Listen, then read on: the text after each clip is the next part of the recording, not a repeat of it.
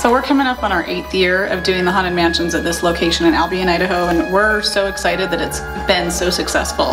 Yeah, the Haunted Mansions is becoming something we really would have never expected to be. It's becoming famous. People travel long distances to come here. We live in uh, Draper, Utah. Viva Las Vegas, yeah! We travel that far because it's the best best place to come around Halloween. Guys are some of our best customers. I'll let you go through. Yes, yes. Okay. What's your name?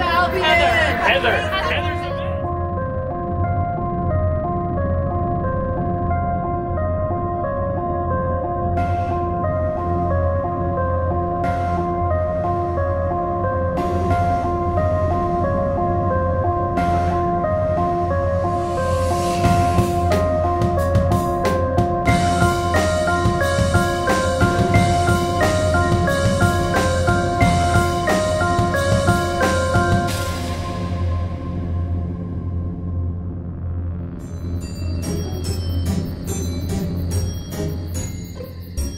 Putting together this production on a nightly basis sometimes can be pretty overwhelming. We have about 65 to 75 actors on a nightly basis that we have to have prepped and ready to go by a certain time.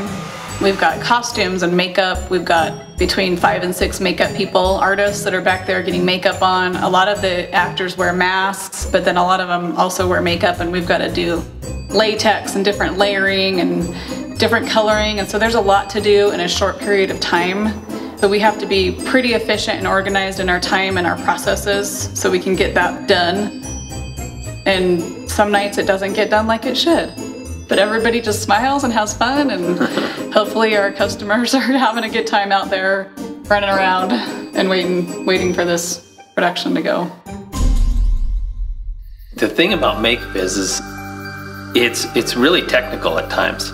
And so you'll get kids in here that want a specific thing on their face, and I mean, you're looking at it going, well, you know, They'll bring a picture in, do this. do this, and it's it's complicated at times. But when you And- find out that that picture in real life takes about six hours to do on one person, Yeah.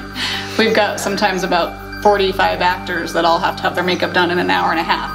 And a lot of people come with their makeup on. That's nice too, you know. But seriously, I mean, you have them all crammed in a room, and it's just bang, bang, bang. It's so it, there's a lot to it.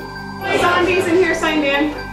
Yes. This is our sign-in sheet. It's kind of my command center here where I know who's here, who's not here. And then if somebody's not here in our paid positions, then the volunteers can move into a paid position. So tonight I know that there's a few that are going to be gone and I have some extras coming in. So just trying to get everybody organized and know who's here and who's not here.